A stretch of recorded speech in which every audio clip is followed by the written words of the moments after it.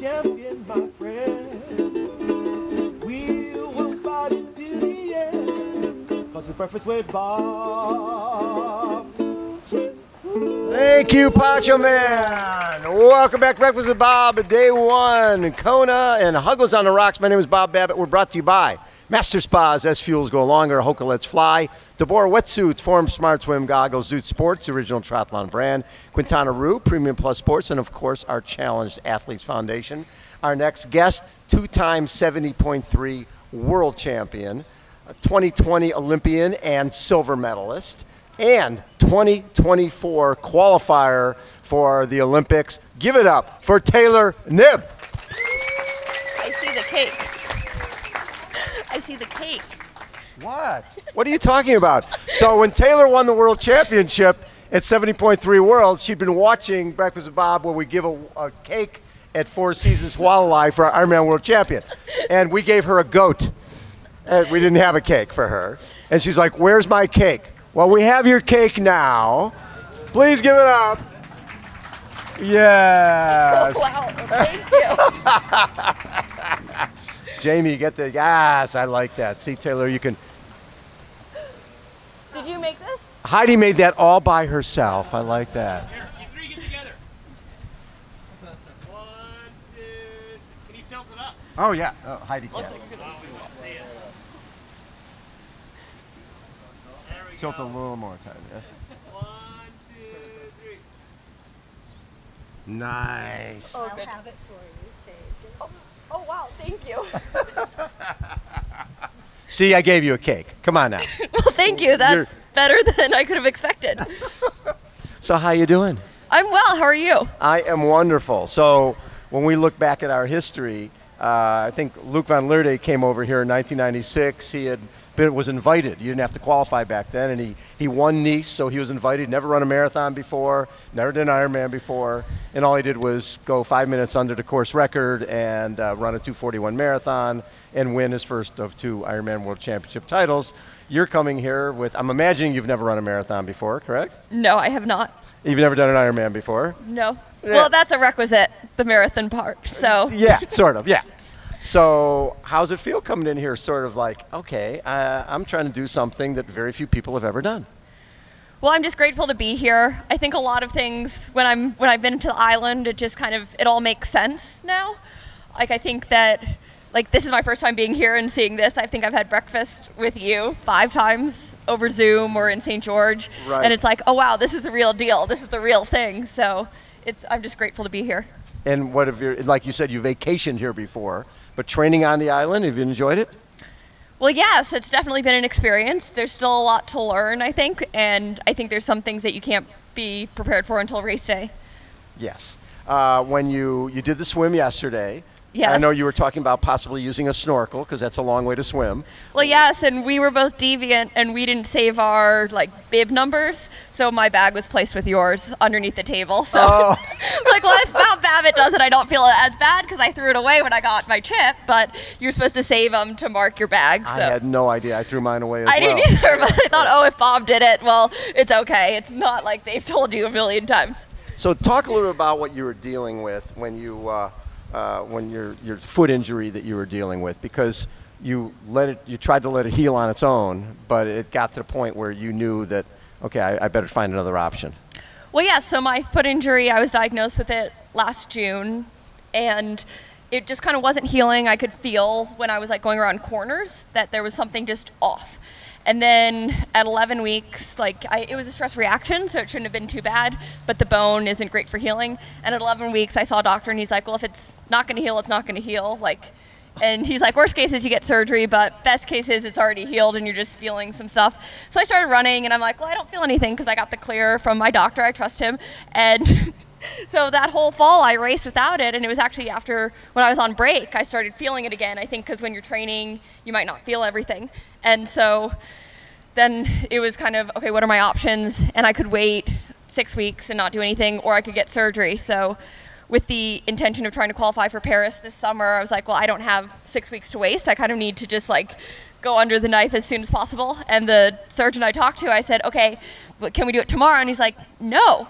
And I was like, why not? He's like, I already have surgeries booked, but I can do it like on Oh. right after New Year's because it was in this like window, Christmas and New Year's, and a lot of like people were away, but the surgeon was thankfully there and he did a great job. It couldn't have gone better, and thankfully it's healed. Well, So- knock on wood. but while you were dealing, while the the the, the while it was compromised, you did you do like five races? Dallas, Cagliari, you won 70.3 worlds, race Bermuda and Abu Dhabi. Yes, and I had no idea that it was still not healed. I thought it was healed. So when I started feeling it again, it was like, oh, did I get another injury? But it showed non union, so it just never healed.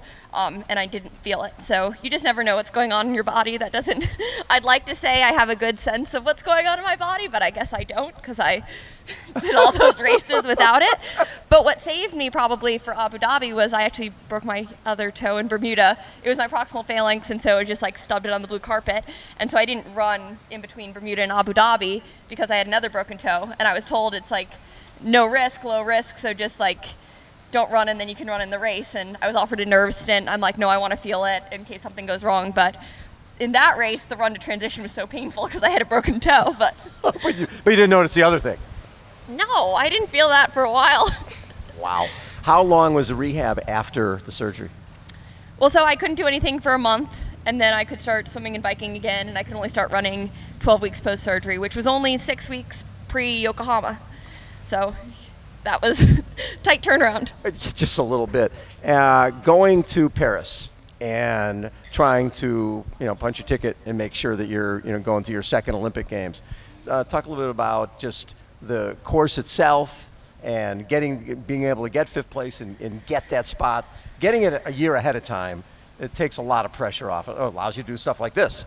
Yes, so I don't know if everyone knows the qualification criteria for USA Triathlon. It was the first American in the top eight automatically qualified for Paris next summer. There are additional races, so Pontevedra occurred, no one qualified there, but there will be another one in the spring. So it's not a one time thing, but um, I was grateful enough to race the race and punch my ticket. Um, but the course, I would say, it's spectacular for anyone who's wanting to watch the Olympics next summer. I think that they will do a fantastic job. They so the course for the triathlon is 24% cobbled, 74% asphalt. And all the asphalt they laid new for the race. I don't know if they're going to do that again next summer, but it was all fresh Wow. asphalt. And it was apparently more expensive to close the Seine than the rest of the course. And we race on the Champs Elysees, so that's not cheap, but to swim in the Seine is very expensive apparently. And I mean, what a month! You you get the uh, you get your spot there, and then you go and win 70 point your second 70.3 worlds. It, knowing where you came from, that I don't know if this thing's going to heal, to then having making the Olympic team and winning 70.3 worlds, that had you had to be over the moon. Well, yes, and I think I had to get a reminder email though the night before the race. One of my sponsors, he emailed me and he's like, "Just remember where you were in January and you weren't even able to walk, let alone Yeah. like do anything like this and just be grateful because the nerves do get to you and the pressure gets to you and it's kind of like oh i just want to be home at this point. I think i did not have one piece of clean laundry at that point of the race or so it was like i was smelling everything before i wore it. Because we had been in a hotel. We had been in a hotel for 16 days or like 14 days at that point and it just i don't know how many people have been on the road for that long but when you're training a lot you just you go you through sweat stuff. You, you sweat stuff a lot. but I was like, ooh, this bra, it's like, it's the least bad smelling at this point before the race. Now, is your mom racing here too? yes, she is. How fun is it? Now, have you guys been? How long have you been here? So we got here Friday, September, I think it was the 29th, 28th, Okay, 15 days out from the race. 15 days out from the race, and is mom ready? Well, I hope so. Now, she claims this is going to be her last Ironman, but, you know, I've heard, I think it was her second Boston Marathon. She's like, that is my last Boston. And I think she's done seven Bostons. So you don't really, she doesn't understand why no one trusts her that when she says, this is my last. Um, and you just never know. You could take like a 10 year hiatus and come back to racing. You can do it forever. But mom was mom who got you into this? Yes, indirectly. She was racing. She got back into triathlon in 2006. She'd done a triathlon with her boyfriend in Chicago in the 90s. And then she had kids and she got back into it. And then, like, her goal was to qualify for Kona. And she was trying to in some 70.3s. And her first full was Lake Placid in 2010. She qualified for Kona. And so we got to come out. So when you look at the field that's racing here, you've, you've raced a lot of these folks. You've raced Lucy, you've raced most of the folks, but they've obviously got experience. But I remember when we first chatted, it was at Collins Cup in Samorin, and everybody was like, "Oh my God, she's riding a road bike! There's no way you can ride a road bike here." And all the other uh, women were like, "I can't believe someone should get her a TT bike." And then you, oh, I don't know, had the fastest time of the day and, and blew everybody away. You're you're not somebody who's intimidated by much. It seems, as Mark Allen would say, you're fearless.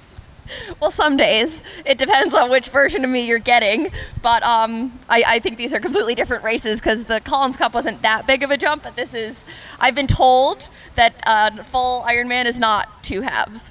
It's a lot more. It's a lot So- more. Well, the, probably the main deal is all the nutrition, right? Just that when, where, how, figuring out what to what to take, when to take it. How have you trained for this in the midst of everything you were doing? I mean, was when you win 70.3 Worlds, you get this spot. You get to come here, Yes. which is great. Craig Alexander, Mirinda Carfrae, all those guys, Leanda Cave, they all got that th- that way. But did you decide? You didn't decide right away that you're going to come do this. No, but I was hopeful. I think pre-surgery it was a like big goal to qualify for Paris in Paris, so then I could do this, because I think with the Olympic cycle and knowing what I'd have to do to get back to racing in Paris, I just wanted a little bit of a reprieve and a step back Right. before like going headfirst into the Olympic prep, and I didn't want to feel like burned out in any way, shape, or form, and so just like this is a very refreshing other perspective of something really incredible in the sport. Yesterday you did a 2.4 mile swim. Did it seem really long? Yes. it was so long. and like my goggles were hurting by the end because I tightened them a lot because you just in short course racing you don't want to lose the goggles at all, like no water in and it just like it seemed like a very, very long way. It, it is a very, very long way. now, have you ridden 112 miles? I have. Wow, how'd that feel? Well, so the longest ride I've done is like 132, 133 miles. Wow. It was on my break last year, hence I came back with an injury. Well, it didn't heal, so I guess just things not to do that you could do as a 24 year old to mess up. But I did a ride from like, it was on Maui up the volcano and back from where we were staying. And so it was like an eight hour plus day on the bike, and it was just, it was just fun. It was just fun. Yeah, what the hell? And then running, what's the furthest you've gone for that? 18.92 miles so far, so. 18.92. Yeah, not 18.93. You know it's exactly 18. Well, no, I was told like that's good. We'll save it for the race. So you check the box and move on. So is the goal? What what is the goal? I mean, you're a person who you're a racer. You go to race and go to the front, and a lot of times win. Well, I think this is different because I think that you can't race it the same way. And normally I have like minimums that I want to hit. And then if you go over, great. And if you're faster, great. But this is more, I guess, staying in control. And so I've been told it's a race of patience, which is not a strength of mine. But so, like, work on your weaknesses and embody it the whole day and embrace that. And so I. I have some like ideas of what I hope happens, but you never know what'll happen. And the biggest thing for me is I just want to get to the finish line and continue to be walking and cognizant after that. How about a round of applause for Taylor Knibb? Iron Man hopeful. We love it. Poncho Man, come take us out. Cause we are the champions, my friend. And we will fight it to the end. Cause it's breakfast with Bob. Poncho Man, everybody.